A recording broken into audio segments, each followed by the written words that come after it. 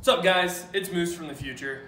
So, just so you know, I did change my name. wanted to change it before I got too much content out there. Uh, I, the, the original name wasn't really working for me, so I wanted to change it uh, before I got too much out there and people were trying to look up six different names for it. So yeah, the new the new name will be B Pearl underscore Z71. Shalom guys, welcome back. Today we're gonna be taking the air dam off the uh, 2015 Chevy Colorado Z71. So that will be that will be the adventure of today. So without further ado, let's get started. All right, so to start with this, you have to start out with, I believe this is a T15 torque bit. And me double check, yeah, T15, because you gotta remove these little star guys here to get access to another plastic panel piece under here. And uh, as we go, I'll kind of do a step-by-step. -step. Um, I know a lot of videos out there on the step-by-steps. What the biggest problem is, is it's hard to see what's going on when you're doing all this stuff, so I'm gonna do my best to get good footage of me doing it. Okay, so we got the uh, wheel well panel cover removed. Now we're gonna have to remove this bolt here, and there's three bolts underneath here that are your little star, little seven, T15, sorry. Um, the same one that we used for removing these is gonna be down here.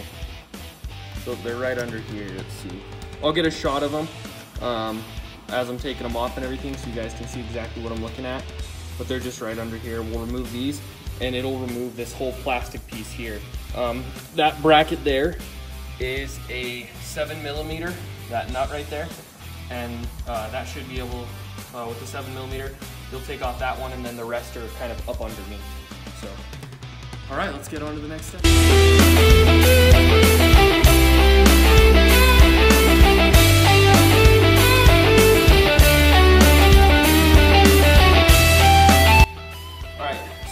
Piece out that we need to get.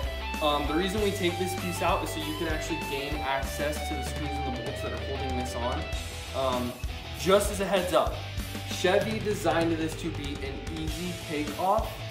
Unless you have one of these toolkits with you out wherever you are, and hopefully you have everything in there that you need, it is not easy. All right, so we've got a bunch of these bolts taken off, so now we actually have some movement, and there's just pieces here, here, and over here. You can't really see them, sorry, but they're these guys that go all along here. And there's about, I think if I remember right, like 15 to 18 of them. So we're gonna undo this bolt next, and what this is gonna allow me to do is kind of bend this piece that the next one's attached to, because this one right here specifically is in a really weird spot.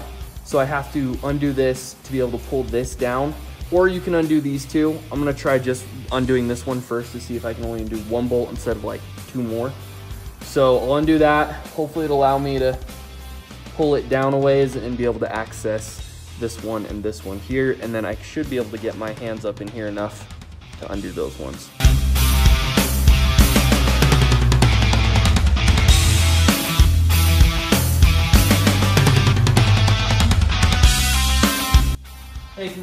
Can you give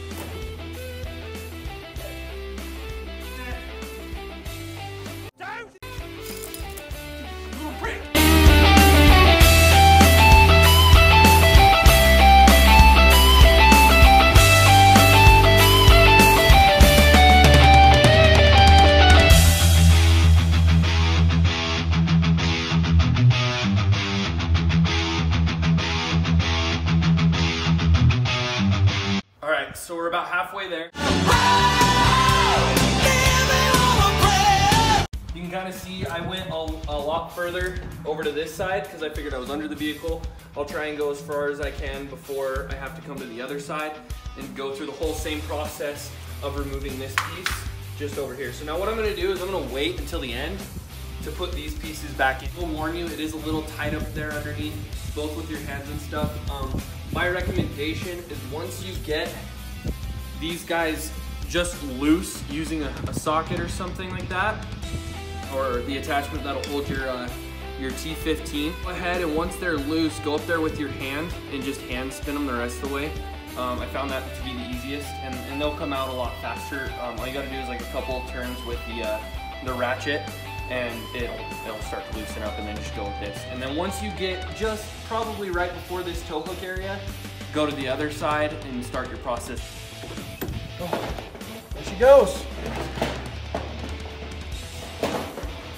And that is the last bolt.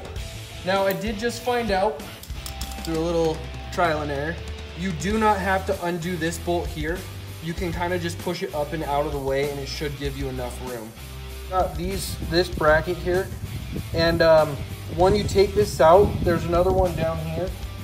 Take both of them out and it makes it so you can just pull down on this so that you can access two of the screws that are up in here. They're really hard to get to.